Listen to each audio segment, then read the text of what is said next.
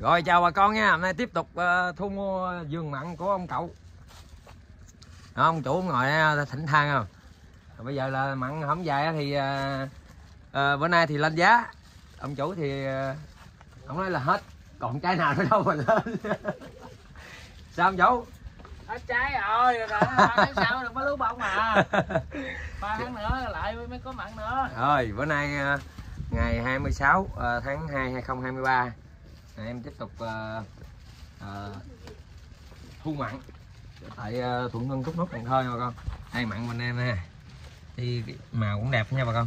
Màu đẹp ha đó. Thì em đang à, thu mua mặn rồi à, na thái giờ vú sữa quần kim ổi xoài với uh, chôm chôm nhãn. Gì uh, em cũng mua nha bà con. Rồi em uh, quý bà con là có uh, có vườn thì liên hệ em. Thầy đến thượng Hưng Tống Nốt Cần Thơ số điện thoại là 0961 084 636 thì em đi là đầu tắng mỗi ngày bà con. À, không phải là số lượng ít bà con có vườn lớn cũng alo em. Rồi xin ngay kính chào.